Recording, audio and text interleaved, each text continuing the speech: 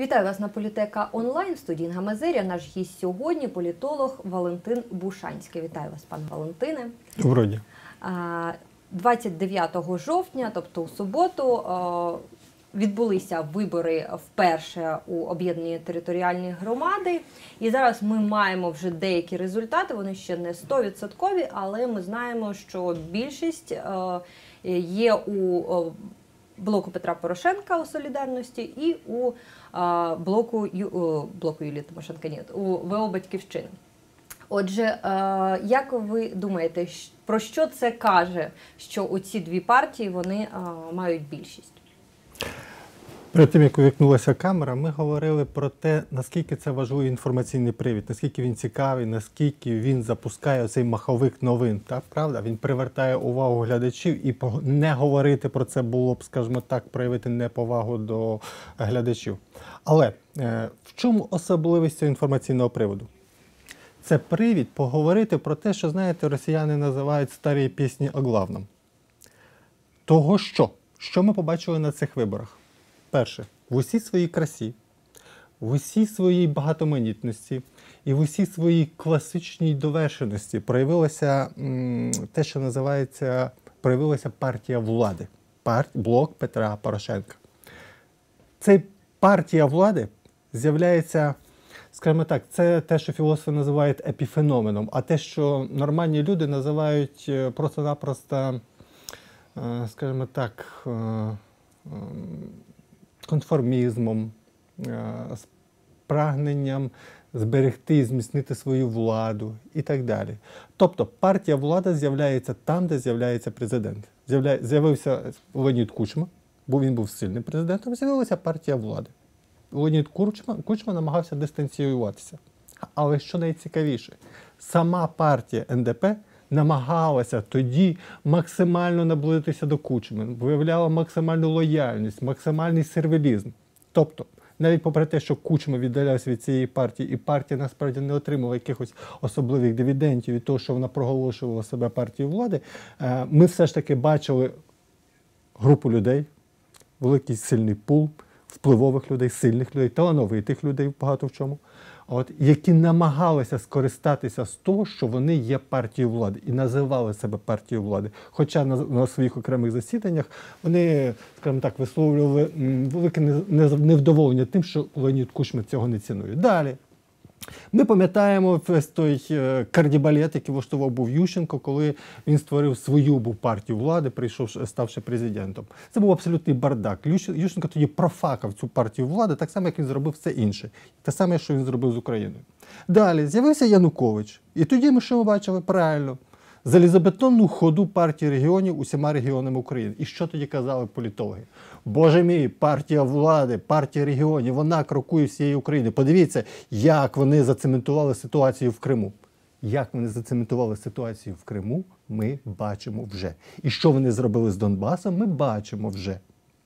Тепер з'являється Петро Порошенко. Він йшов на вибори, маючи кондитерську фабрику в Україні, в Росії, е, авіаційний авіаремонтний завод в, е, в Криму, е, ще інші активи в Криму, банк, який ледве дихав, і все таке інше. Тепер він у нас великий олігарх, найвидатніший в Україні бізнесмен. Він скоро війде в книгу рекордів Гіднеса як підприємець, який найкоротший термін здобув найбільше активів і так далі. І, так далі. і в цей момент, коли він йшов на вибори, в нього була, знаєте, пам'ятаєте, оця дрібна секта, яка називалася Солідарність.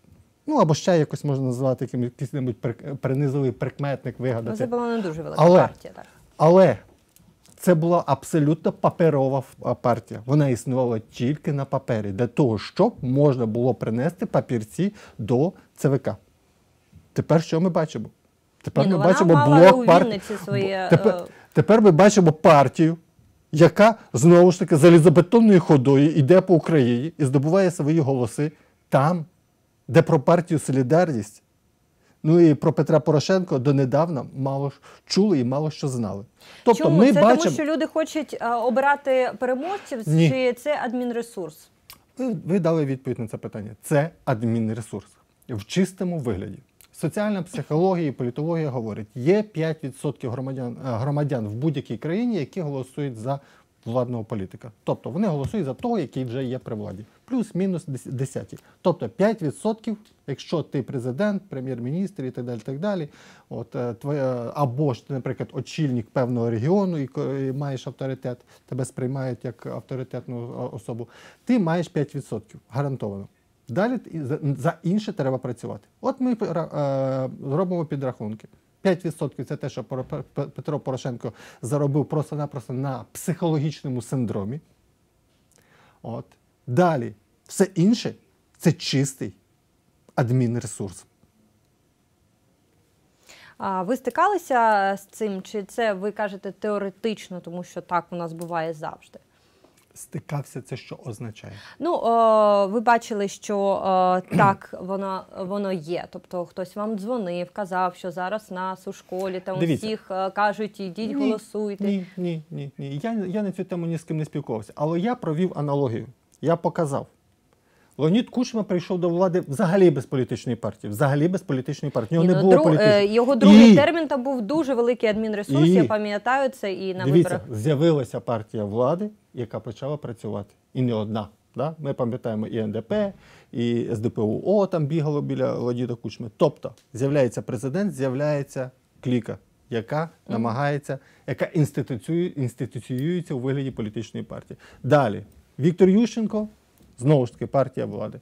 Янукович, партія влади. І так далі. так далі. Тобто, знання, як кажуть е, науковці, знання деяких принципів звільняє від необхідності е, знати багато фактів. Добре, хочу вам дати результати інших партій. Так, це, це е, виходячи з підрахунку половини е, бюлетенів.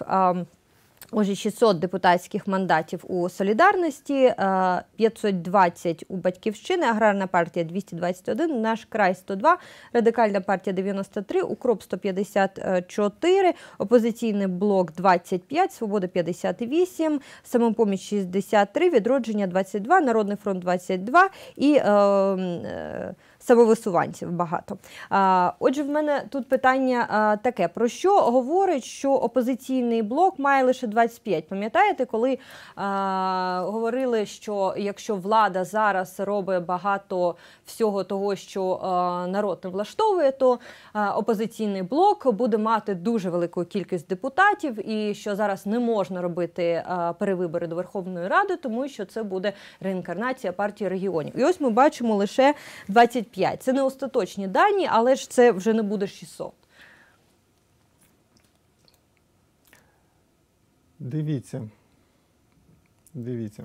По-перше, те, що ми називали е, партія регіонів, яка існувала, коли був президентом Віктор е, Янукович, і навіть в період прем'єрства Віктора Янукович, і те, що ми називаємо опозиційний блок, так, це частина партії регіонів, але це не одне і те саме. Звичайно. Тобто, дивіться, якщо ми візьмемо цей такий опозиційний блок, який вже не має політичного лідера Віктора Януковича. Інший політичний лідер цієї партії, пан Бойко, що називається, ходить під прокурором. Тому що йому сняться і прокурору сняться вишки в Чорному морі. Мається на увазі газонафтові вишки. От. Тобто, це та партія, яка на сьогоднішній день не має адміністративного ресурсу.